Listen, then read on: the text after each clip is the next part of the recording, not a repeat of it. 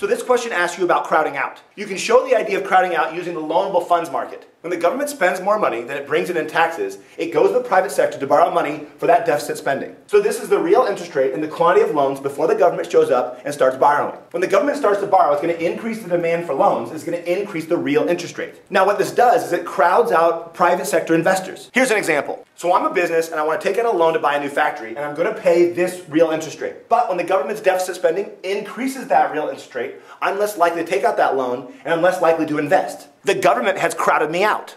Quick bonus round. The writers of the AP test love this idea of crowding out. They ask this question all the time. The majority of the time they ask you questions about the loanable funds market, they're usually asking questions about deficit spending and the idea of crowding out. So make sure you really understand that concept. It's story time! Okay, we've got four out of the five units done. It's time to take a quick break and listen to a story. I put this story and other ones like it on the Microeconomics Review app. It's really good, so enjoy. When I was a senior in high school, I had a big head. Like I thought I was like the greatest thing in the entire world. That's right, watch out, coming through. Who's Clifford? I am. Get out of my way, freshman. All right, so this one time, it's right after lunch, and all the students are going to class, and I'm talking to this girl through the door of a classroom. So, uh, what do you think me and you go out sometime? The bell rings, and the teacher's like, Adios, Senor Clifford. It was a Spanish class, so I'll catch you later. So I'm late to class, and I start running to my next class. So as I'm running down the corridor to the class, this door swings open, and BAM! hits me.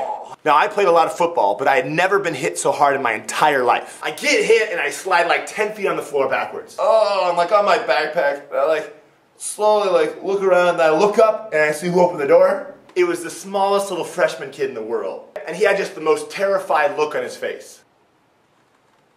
So like I get up all slowly and I beat the crap out of him. No, I'm just joking. Just joking. Just joking. Just joking. I get up all slowly and like embarrassingly just walk away with my head down to get to class.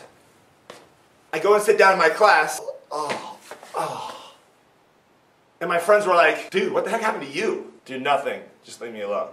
For the rest of my senior year, anytime I thought I was so awesome, so amazing, so perfect, I'd see that little freshman kid and it would totally deflate my ego. I'd be like, I'd see that kid, and he'd be like, yeah, that's right, man. I know what happened. There's two lessons I learned. Number one, don't be a bully. Number two, anytime I walk past a door, I put my hand out to make sure it doesn't hit me in the face. Get out of my way, freshman! am, not, am I hurting you? Are you okay? No, my neck cracked go.